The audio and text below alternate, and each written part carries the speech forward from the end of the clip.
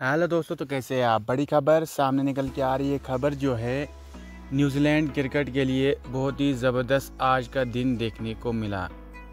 अगर बात करें तो न्यूजीलैंड क्रिकेट जो है भारत में काफ़ी समय से टेस्ट मैच नहीं जीत पाई थी।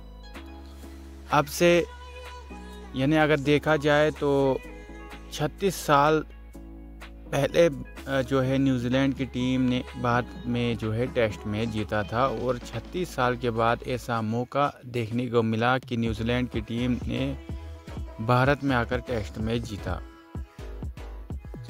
यानी ये बहुत ही एक तरह से अगर देखा जाए तो ये न्यूजीलैंड क्रिकेट के लिए गर्व की बात है। उन्होंने 36 साल के बाद इंडिया में टेस्ट मैच जीता। वहीं भारतीय टीम को इस टेस्ट मैच से बहुत ही ज़्यादा सीखने की जो है ये सीख मिलती है कि जो भारतीय टीम ने इस टेस्ट मैच में प्रदर्शन किया, दूसरी इनिंग में भारतीय टीम ने अच्छा प्रदर्शन किया, लेकिन आखिरी की विकेट्स जो गिरी, यानी आप एक तरह से देखें कि सिर्फ़ 50 से 60 रनों के बीच में भारत के आखिरी के सात विकेट गिरे। यानी भारतीय टीम ने दूसरी इनिंग में अच्छी बल्लेबाजी की, लेकिन जो उनके लोअर मिडल ऑर्डर बल्लेबाज थे, उन्होंने अच्छी बल्लेबाजी नहीं की।